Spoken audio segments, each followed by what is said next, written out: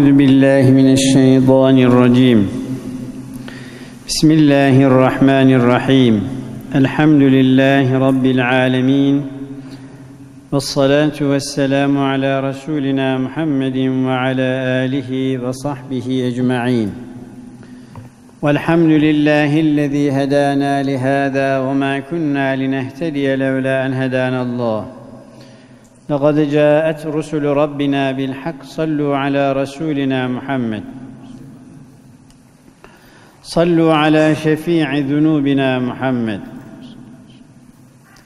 صلوا على طبيب قلوبنا وقرة أعيننا محمد. اللهم صل على سيدنا محمد وعلى آل محمد.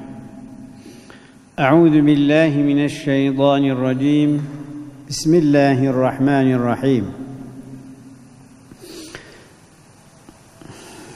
إن الله اشترى من المؤمنين أنفسهم وأموالهم بأن لهم الجنة. يقاتلون في سبيل الله فيقتلون ويقتلون وعدا عليه حقا في التوراة والإنجيل والقرآن. ومن أوفى بعهده من الله فاستبشروا ببيعكم الذي بايعتم به وذلك هو الفوز العظيم. صدق الله العظيم وبلغنا رسوله النبي الكريم ونحن على ما قال خالقنا ورازقنا من الشاهدين الشاكرين بقلب سليم. Cenab-ı Hak ve Feyyaz-ı Mutlak cümlemizi sırat-ı mustakimde daim eyleye. Sevdiği, razı olduğu kulları zümresine ilhak eyleye. Yaşanması gerektiği gibi yaşamaya, fedakarlık yapılması gerektiği gibi fedakarlık yapmaya, şükredilmesi gerektiği gibi şükretmeye, sabredilmesi gereken yerlerde de sabretmeye her birimizi muvaffak eylesin. Kıymetli dostlar, okuduğum ayeti kerime Tevbe suresinin 111. ayeti kerimesi. Rabbimiz Celle ve Ala Hazretleri müminim diyen insanlara bir gerçeği haber veriyor. Elhamdülillah ben Müslümanım. Diyor musun? Diyor.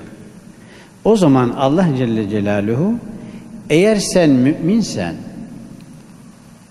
buyurun eşhedü en la ilahe illallah ve eşhedü enne Muhammeden abduhu ve resuluh kalben tasdik ettin mi?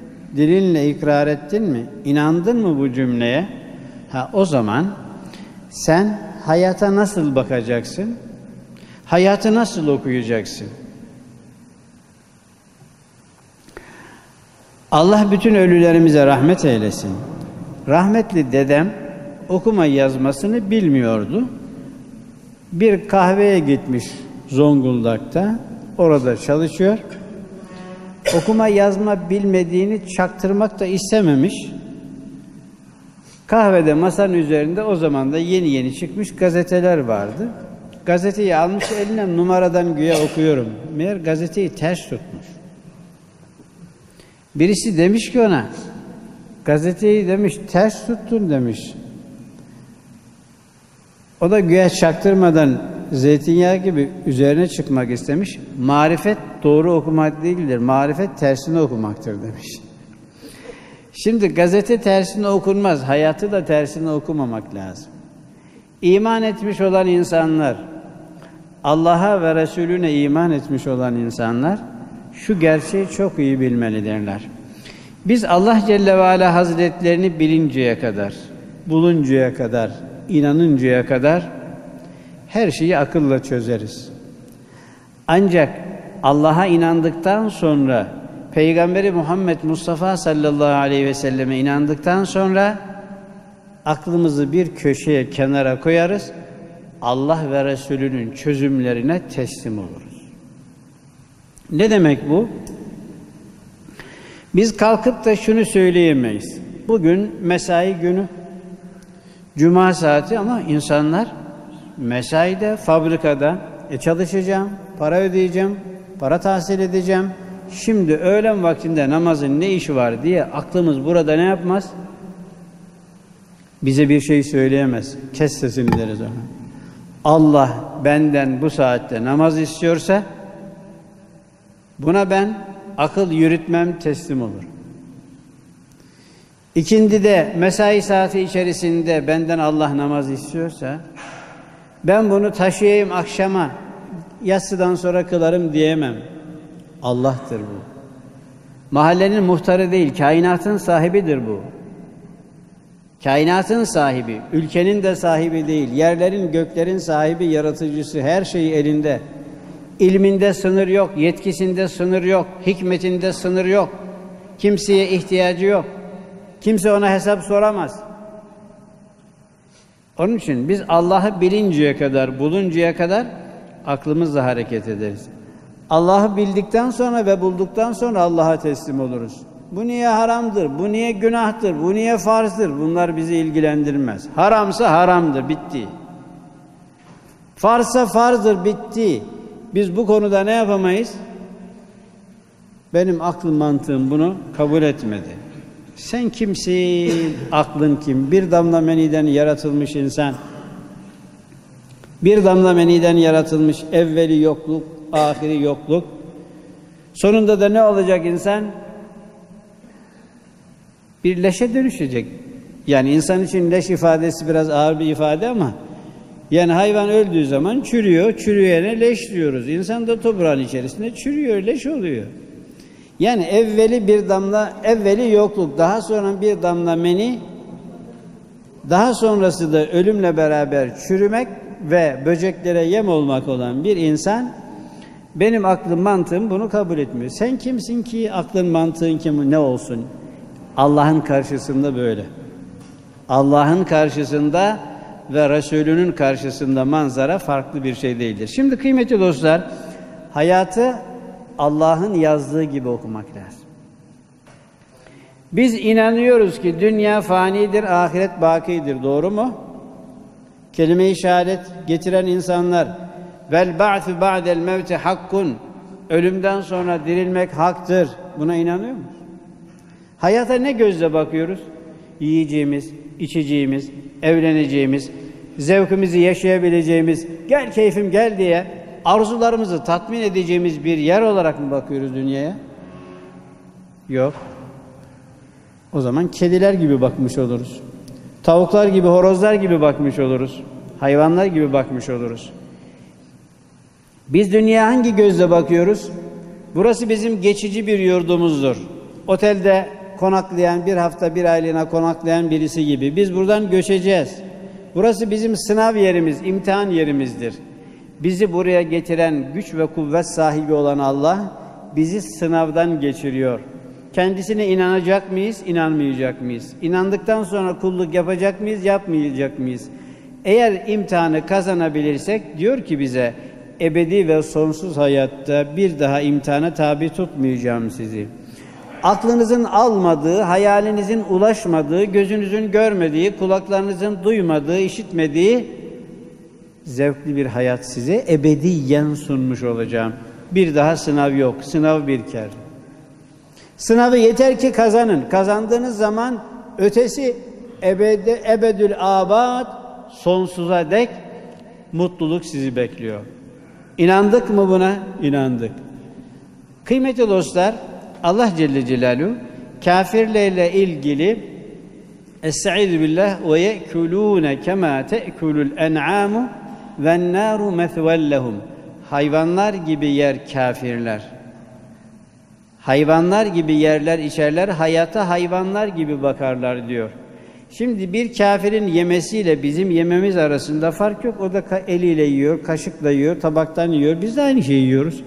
Ama Allah Celle Celaluhu kafirlerle ilgili hayvanlar gibi yerler diyor. Yani kafir insan yemeğe sadece yemek olarak bakar. Tatmin eder mi, etmez mi, canı ister mi, istermez mi ona bakar.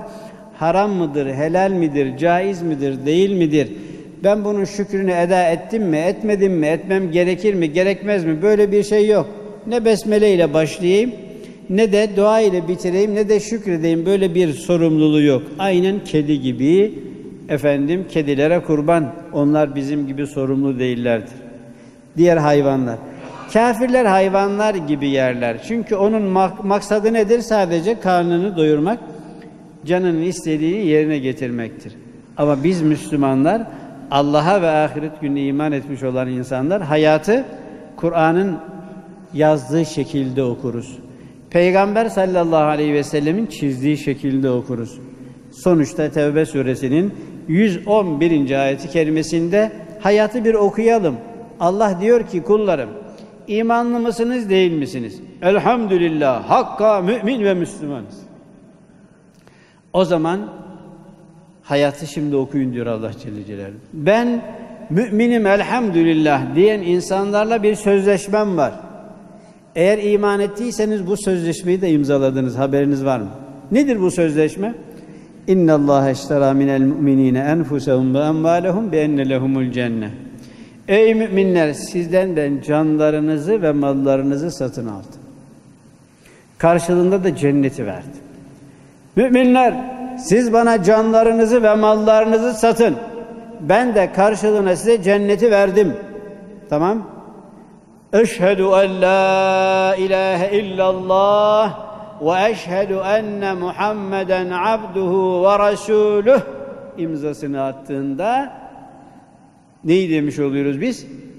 Allah'ım canımı malımı sattım sana.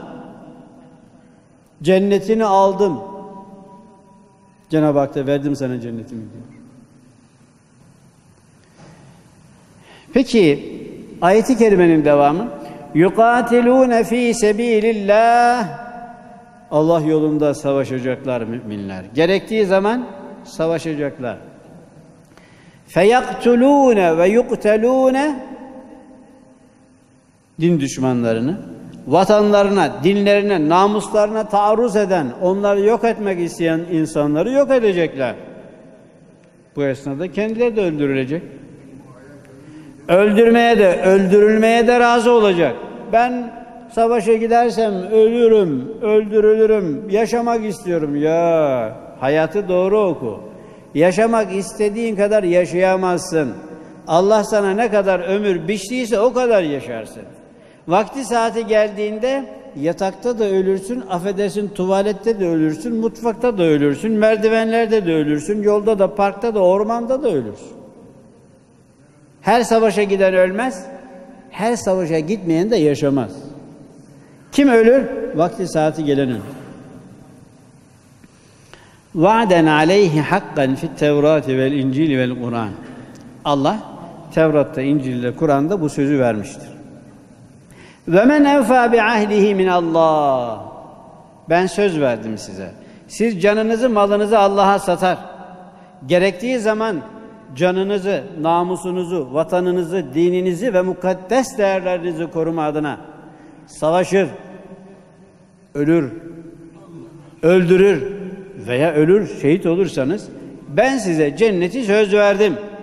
Benden daha çok sözünde kim durabilir? Ben size bu sözü verdiysem cenneti verdim demek midir? El hak cenneti verdim demektir. Öyleyse festebşiru bi bey'ikumüllezî bâya'tum bih. Siz böylece iman etmiş olmakla Allah ile bir sözleşme yapıyorsunuz. Allah'ım ben canımı ve malımı sana, sana sattım. Karşılığında cenneti aldım dediniz. Allah da verdim size cenneti be. Verin malınızı canınızı bana. Tamam bu iş bitmiştir. Yaptığınız bu alışveriş sebebiyle sevinin. Çünkü zaten canımız da malımız da Allah'ın. İstersen verme. Vermesen almıyor mu sen? Alıyor. Canımız da Allah'ın, malımız da Allah'ın. Ama böyle geçici bir süre bize bunu teslim etmiştir. Sanki kendi kendimize istediğimizi yapar gibi bir durumdayız. Diyor ki Allah Celle Celaluhu, irade verdim. De ki sen kul olarak Allah'ım canımı da sana sattım, malımı da sana sattım. Malımı nasıl istersen öyle tasarruf eder, ederim. Canımı nerede istersen oraya harcarım.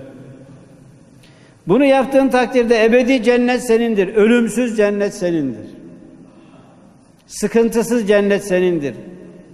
ağlaması olmayan, hep gülmek olan, sıkıntısı olmayan, hep mutluluk olan, fakirliği olmayıp hep zenginlik olan, hastalığı olmayıp hep sağlıklı olan, ihtiyarlı olmayıp hep gençliği olan cennet senindir diyor. Ve zâlike huvel fevzul azîm. Bu büyük bir kurtuluştur. Kıymetli dostlar, dinimizde yeri geldiği zaman dinimizi ve mukaddes değerlerimizi namusumuzu ve şerefimizi korumak, vatanımızı korumak,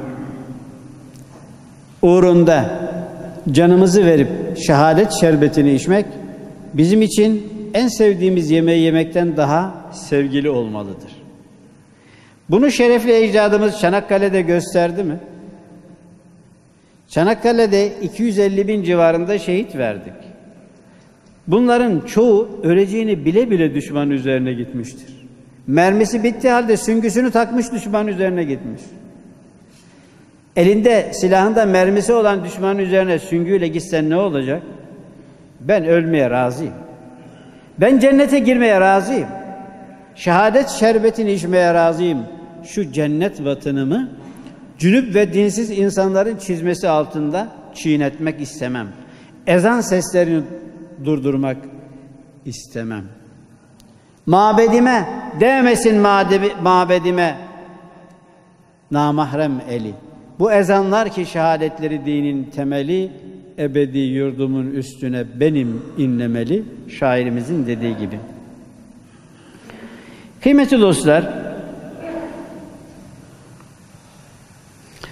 Ebu Hureyre radıyallahu anh efendimizin naklettiğine göre Peygamber Efendimiz sallallahu aleyhi ve sellem şöyle buyurmuşlardır. İntedeballahu limen harace fi sebilihi la yukhricuhu illa imanun bi ve tasdikun bi rusuli en arci'ahu bima nale min ecrin ev ganimet. Bir insan Allah için, Allah rızası için dinini, mukaddes değerlerini, vatan mukaddes değerlerdendir. Çünkü bu vatanın içerisinde sınırlarımızı korursak, emniyet içerisinde ibadetlerimizi yapabiliriz. Namusumuzu koruyabiliriz ibadetlerimizi gerçekleştirebiliriz. Dinimizi, mukaddes değerlerimizi, cennet vatanımızı Allah için korumak maksadıyla bir insan Allah'a ve Resulüne inanarak savaşa çıkmış olsa, düşmanla cepheye savaşmak için gitmiş olsa, Allah Celle Celaluhu iki garantiden birisini ona veriyor. Eğer geriye dönerse, savaştan sağlıklı, sıhhatli bir şekilde geriye dönerse Cenab-ı Hak ona büyük mükafat vaat etmiştir. Nasıl mükafat vaat ettiğini biraz sonra yine Peygamber Efendimiz sallallahu aleyhi ve sellem'den dinleyeceğiz. Veya orada ölürse şehadet şerbetini içmek suretiyle yumdu gözünü, teslim etti ruhunu, bir taraftan gözünü kapatıyor ama bir alemden gözünü kapatırken dünya aleminden gözünü kapatırken cennet alemine gözünü açmış olacaktır. Diyor ki Peygamber Efendimiz sallallahu aleyhi ve sellem eğer benim ümmetim için bir zor durum olmasaydı, zorluk olmasaydı hiçbir savaştan geriye kalmazdım ve ben Allah yolunda öldürülsem, tekrar dirilsem, diriltilsem, tekrar öldürülsem, tekrar diriltilsem, tekrar öldürülsem, tekrar diriltilsem Peygamber olarak ben bunu çok arzu ederim diyor. Ancak ben bunu yaptığım takdirde ümmetim hepsi benim peşime takılacaklar. Onlara çok zor olacak bu iş. Bundan dolayı ben her seriye katılmıyor ve bu söylediğimi gerçekleştirmiş olmuyorum. Yoksa efendim eğer savaş Allah yolunda savaşmanın mükafatı bu kadar büyük olmasaydı Peygamber Efendimiz sallallahu aleyhi ve sellem böyle der miydi? Bukhari'de rivayet edilen hadis-i şeriflerinde nefsim yedi kudretinde olan Allah'a yemin ederim ki eğer ben savaşa gittiğim halde birileri ah ben de gitseydim üzüntüsünü yaşamamış olsalardı ve onları savaşa temin edecek, savaşa katılmalarını sağlayabilecek maddi imkanlar onlara temin edebilmiş olsaydım ki her arzu edeni bunu temin etmek de mümkün değildir. Ben savaştan geri kalmazdım. Allah yolunda savaşa gider, öldürülür, tekrar dirilmek, tekrar öldürülmek, tekrar diriltilmek, tekrar öldürülmek, tekrar diriltilmek isterdim diyor sevgililer sevgilisi Peygamber Efendimiz sallallahu aleyhi ve sellem. Adamın bir tanesi ya Resulallah diyor. Amellerin en faziletlisi, en değerlisi hangisidir? Diyor ki Allah'a iman etmek ve peygamberine iman etmektir diyor. Sonra hangisi? Sonra Allah yolunda cihad etmektir diyor. Cihattan maksat nedir? Cihattan maksat dinini, namusunu, şerefini, vatanını korumak. Mutlaka bunun içerisinde cihat sayılabilmesi için i'la-i kelimetullah dediğimiz Allah'ın kelimesi en yüce olsun niyeti mutlaka olmalıdır. Sonra hangisi diye sorduklarında mebrur ve makbul olan bir hac cevabını vermişlerdir. Kıymetli dostlar, şerefli ecdadımız Çanakkale'de destan yazmıştır. Eğer şehitliğin ne olduğunu bilmeselerdi, başka milletlerin yazamadığı destanı yazmıştır. Yedi düvel karşısında ellerinde mermisi olmayan ve doğru düzgün tüfeği olmayan, silahı olmayan insanlar ölürüz. Efendim, hepimiz ölürüz ama bu cennet vatanımızı bu kendilerine göre dünyevi güçleri sarf, savaş teknik aletleri fazla olan, bombaları fazla olan bu gavurlara vatanımızı teslim etmeyiz diyemezlerdi gönüllerinde iman olmasaydı. Gönüllerindeki imanla onlara karşılık verdiler, direndiler. İyi ki direndiler. Allah hepsine rahmet eylesin. Onlar direndiler, bugün biz esir değiliz. Yoksa biz de esirdik. Ne namus kalırdı, ne de vatan kalırdı. Efendim, sömürge ülkeler nasıl yaşıyorsa biz de öyle sömürge ülkeler gibi yaşardık. Gidiyorsunuz Afrika ülkelerine. Afrika ülkelerine gidiyorsunuz. Efendim resmi dili Fransızca. La bunlar Fransız değil. Niye Fransızca resmi dili? Çünkü Fransız sömürgesinde yaşıyor. Fransız sömürgesinde yaşıyorsa geçenlerde Cezayir'e gitmişti reis cumhur.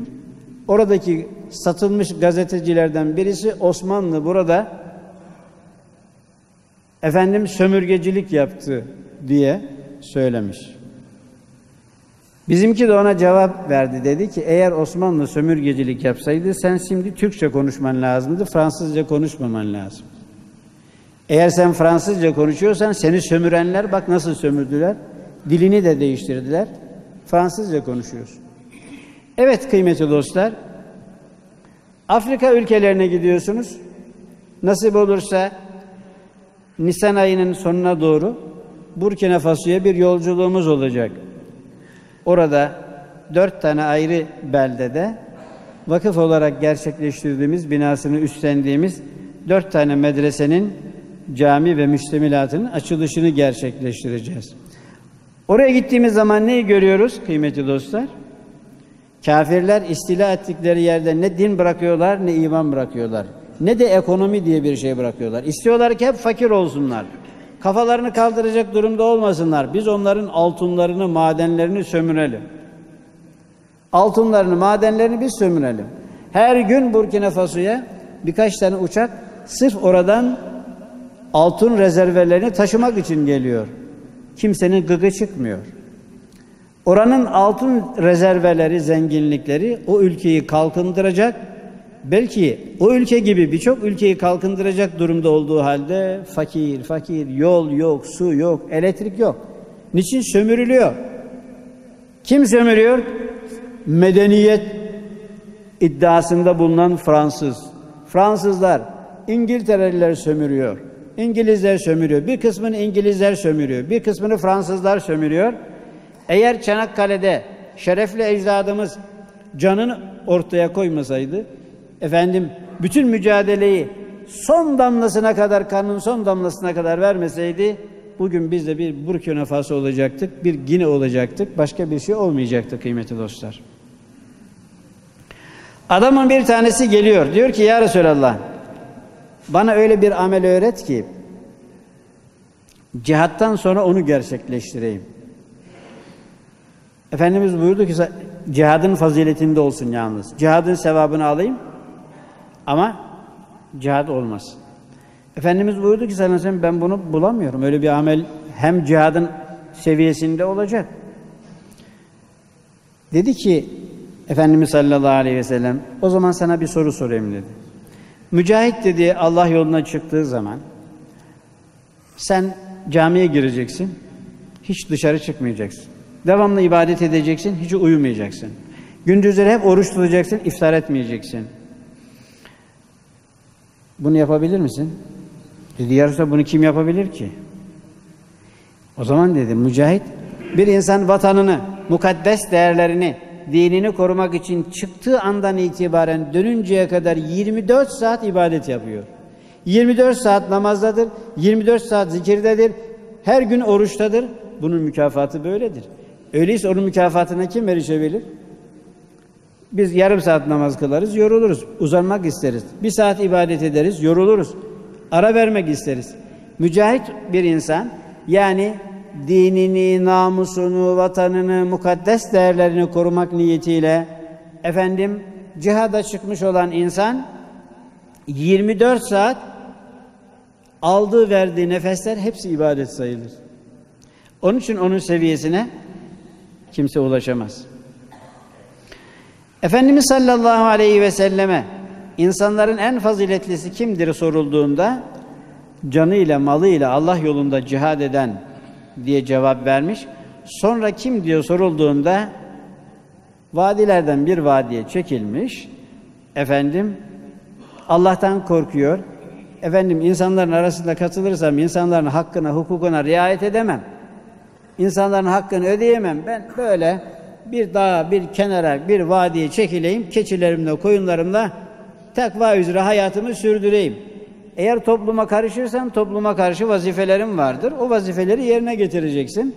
İşte insanlar benim şerrimden kurtulsun diye bir kenara çekilen insan da efendim az e, işi başarmıyor diyor Efendimiz sallallahu aleyhi ve sellem.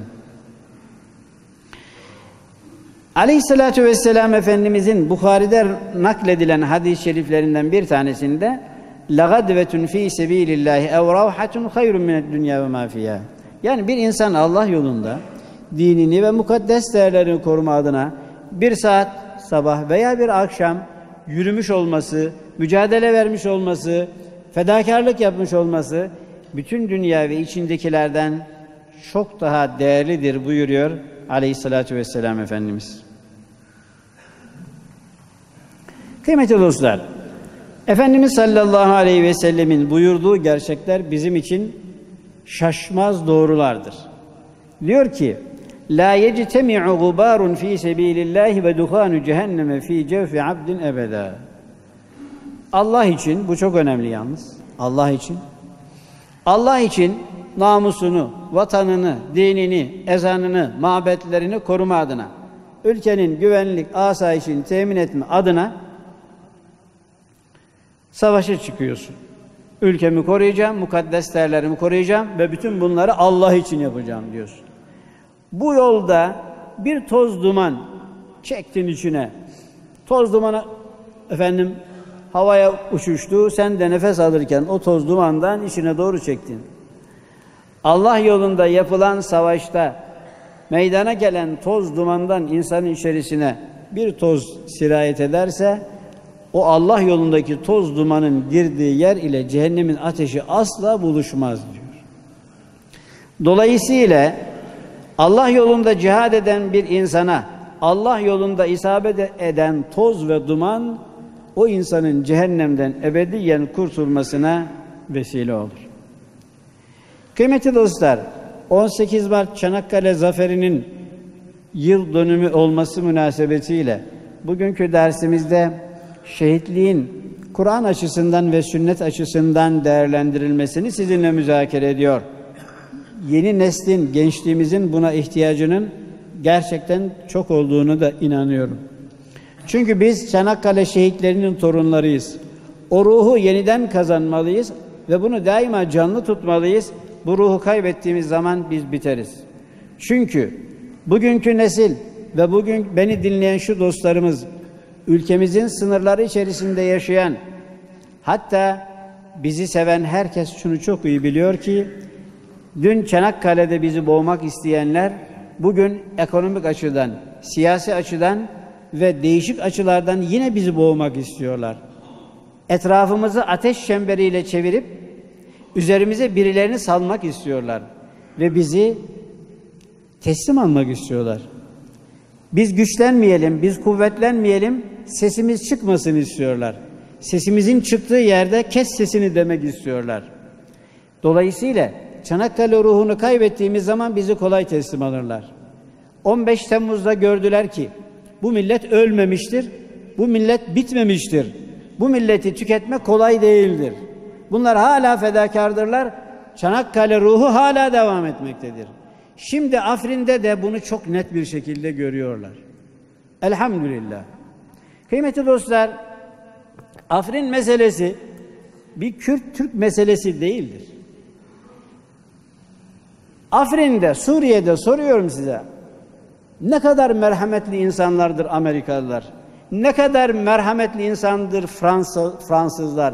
Ne kadar merhametli insandır İngilizler. Orada efendim Iraklıları, Suriyelileri kurtarmaya geldiler. İnanıyor musun buna? Merhametli insanlar. Burada bu zulme uğradı bu insanlar. Gidelim bunları kurtaralım diye mi geldiler? Planlar, hesaplar farklı. Amerika ile biz müttefik olduğumuz halde neden Amerika her şeye rağmen bütün dünyanın gözü önünde bizim birliğimizi bozmak isteyen ve bizim terör örgütü olarak gördüğümüz birileriyle birleşiyor ve birilerine silah yardımı yapmak suretiyle onlara askeri eğitim vermek suretiyle güya göstermelik bir düşman gösteriyor bunu halledeceğiz diyor.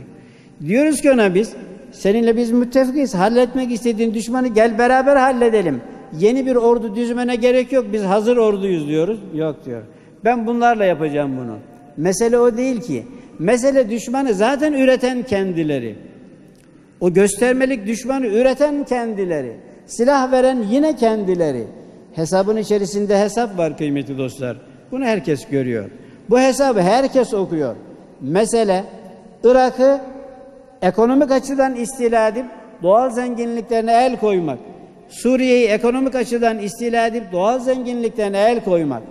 Suriye'yi, Irak'ı bölmek, parçalamak, İsrail'in karşısında yutulacak bir lokma haline getirmek.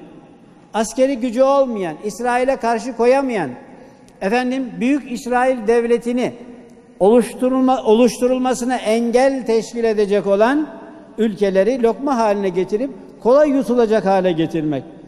Bu esnada en büyük lokma da Türkiye gözüküyor. Türkiye'yi de yutmak kolay olmayınca ne yapalım? Etraftan, kenardan böyle başlayalım.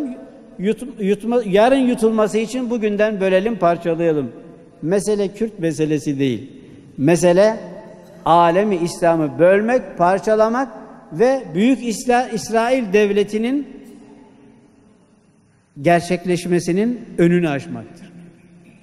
Dolayısıyla kıymetli dostlar, bugün de Afrin'de askerlerimizin, komutanlarımızın çok başarılı bir şekilde sivil halka dokunmadan efendim ülkemizin güvenlik ve asayişini temin edecek çalışmaları yapmış olması ve bunda da Amerika gibi, Fransız gibi müttefik kuvvetlerin kendilerine göre DAEŞ'in karşısında yapamadıkları başarıyı bunca silahlarına rağmen ortaya koyamadıkları performansı bizim ordumuzun ortaya koymuş olması Allah'ın izniyle bu ordu kolay kolay yutulacak bir lokma değildir. Neticesine işi götürmüştür Allah'ın izniyle. Rabbim bize diz çöktürmek isteyenlerin diz çöktüğünü görmeyi bütün dünyaya nasip eylesin. Hatta diz çökmek yetmez, secdeye kapandıklarını görmeyi Allah bütün dünyaya nasip eylesin. Kıymetli dostlar, Ali İmran suresinin 169-171. ayeti kelimelerinde Allah Celle Celaluhu biz iman edenlere diyor ki Ey iman edenler! Siz mealen söylüyorum zamandan kazanmak için. Ey iman edenler siz Allah yolunda öldürülenlere sakın ölüler zannetmeyin onları. Onlar gerçekte ölüler değillerdir. Onlar bel hayat sahibidir onlar. Allah diyor hayat sahibidir. Nerede diyor bunu? Ali İmran suresi 169, 170, 171. Yurzakun. Allah onları rızıklandırıyor be. Allah yolunda öldürülenleri ölüler zannetmeyin. Onlar Rablerin nezdinde rızıklandırılıyorlar. Ferihine bima atahumullahu min fadlihi. Allah fazl-ı kereminden onlara veriyor. Onlar da dört köşe seviniyorlar diyor. Seviniyorlar, uçuyorlar. İyi ki bu makama geldik, iyi ki şehit olduk. Ve yestebşirûne billezîne lem yelhakku bihim min halfihim. Ellâ havfun aleyhim ve lâhum yahzenûn. Diyorlar ki Allah'ım diyor bizim için korku olmadığına, bizim için üzüntü olmadığına, çok mutlu olduğumuza arkamızdakiler bundan haberdar olsunlar Allah'ım diyorlar. Biz çok mutluyuz, çok memnunuz, acayip nimetler içerisindeyiz. Bizim için ne korku ne üzüntü yok. Bunu bizim arkamızdaki anamız, babamız, sevenlerimiz bunu bilsinler diyor Allah Celle Celaluhu. Onlar böyle istiyorlar.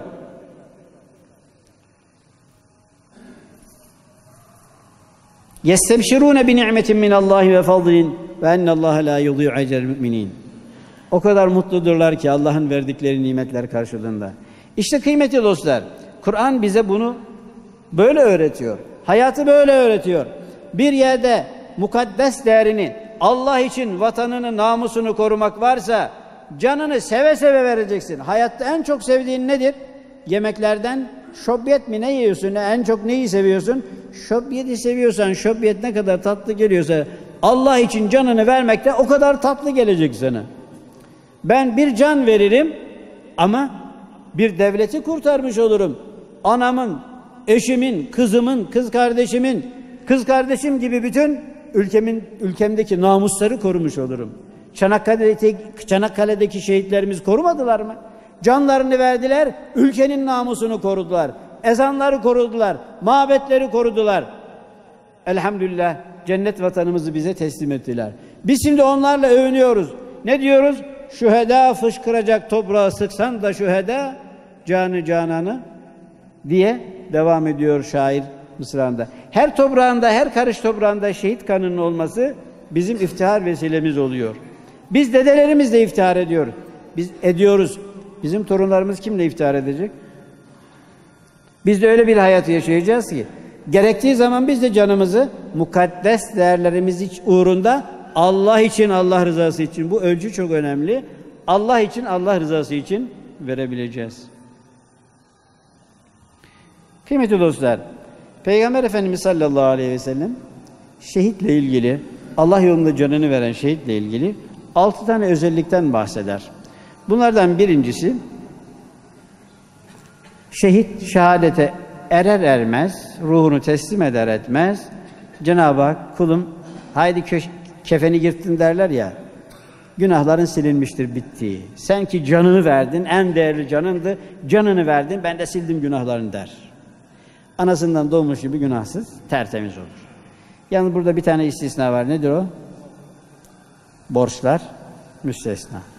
Yani kul hakları ayrı. İki, ruhunu teslim eder etmez. Cennetteki yeri kendisine gösterilir. Onu görünce yani öldüğüne, ruhunu teslim ettiğine çok sevinir. Üç, kabir azabı diye bir şey olmaz onun. Cennet bahçesine girer gibi kabire girer. Dört, kıyamet günü fezaul ekber denir kıyamete. En korkulu gün, en dehşetli gün. O gün emniyet içerisinde asla korkmaz. Efendim emniyet içerisinde fezaul ekber dediğimiz kıyameti karşılar. Dört, ve yuda'u ala ra'si tacul bakar el yakutetu minha hayrun mined dünya ve ma fiha.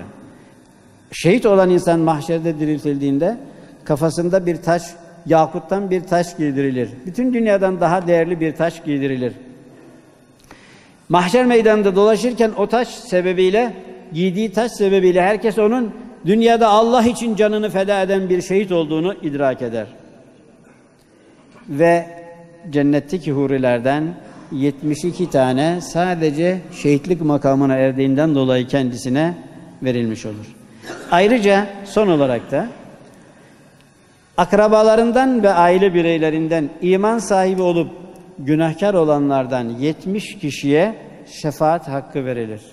Kulum sen ki canını verdin bu yolda akrabalarından 70 kişiye şefaat hakkı verdim sana der Allah Celle ve Ala Hazretleri.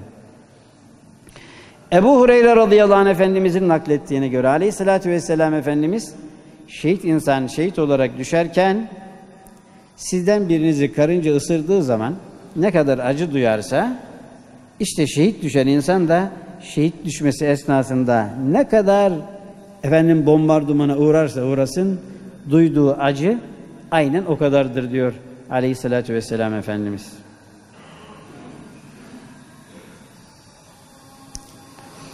Son olarak da kıymetli dostlar bu noktada şunu paylaşacağım sizinle.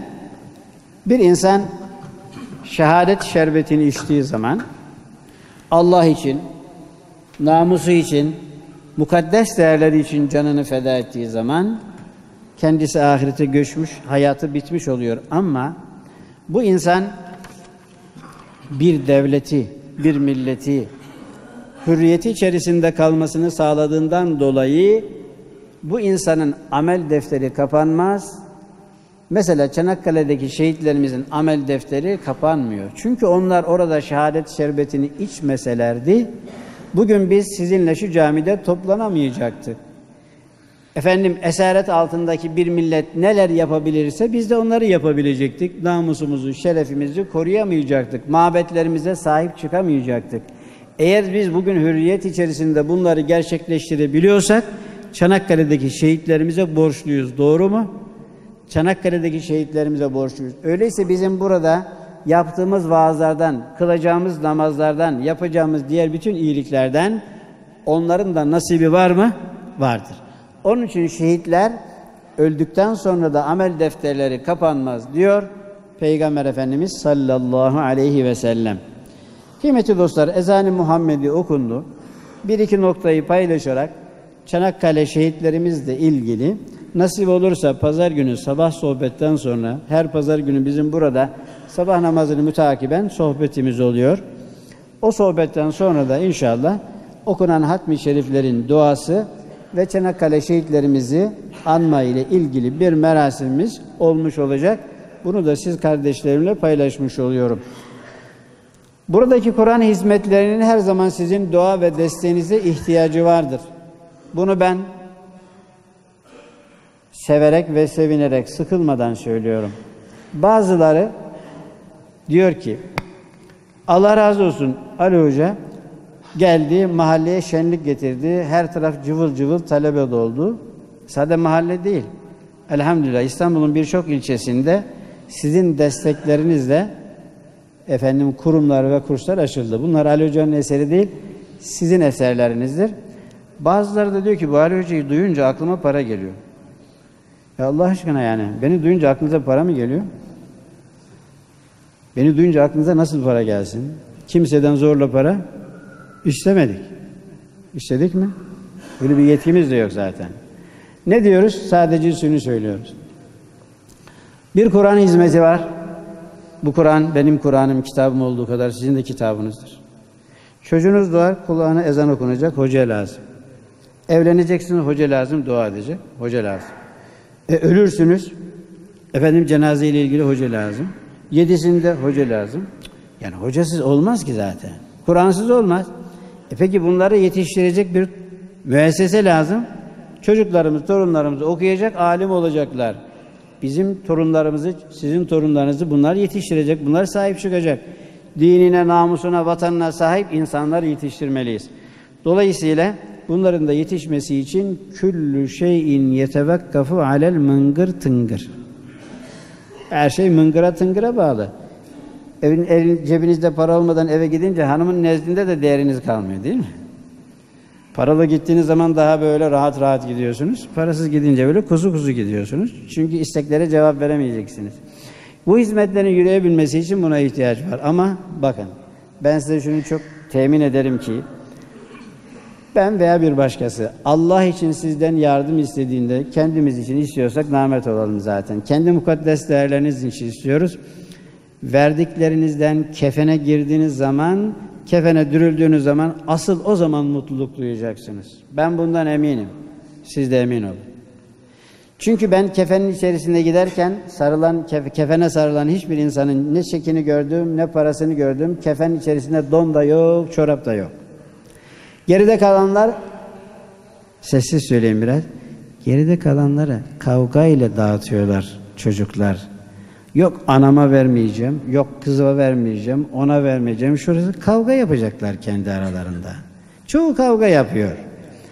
Ama Allah için verdikleriniz kesin sizindir. Onun için efendim bana bakınca para gözüyle bakmayın. Dua gözüyle bakayım ben size çok dua ediyorum. Cenab-ı Hak her birinizi, her birimizi helalinden bol bereketli kazançlarla merzuk eylesin. Gençlerimize ve insanlarımıza Çanakkale'deki şehitlerimizin ruhunu nasip eylesin. Yüce Rabbim Celle Celaluhu canını feda eden ve şu cennet vatanımızı bize emanet eden, düşmana çiğnetmeyen o yüce şehitlerimizin ruhlarını şad eylesin. Makamlarını, derecelerini âli eylesin. Cennette Habibine komşu eylesin. Afrin'de ülkemizin güvenlik ve asayişini temin uğrunda canını veren şehitlerimize de Rabbim yüce makamlar ihsan eylesin. Yaralılarımıza da acil şifalar ikram eylesin. En kısa zamanda vazifelerini tamamlayarak güvenlik ve asayişimizi temin ederek evlerine, yuvalarına dönmelerini nasip eylesin. Aleyhissalatü vesselam Efendimizin mübarek ruhu için, bütün geçmişlerimizin arvahı için, Allah rızası için El Fatiha.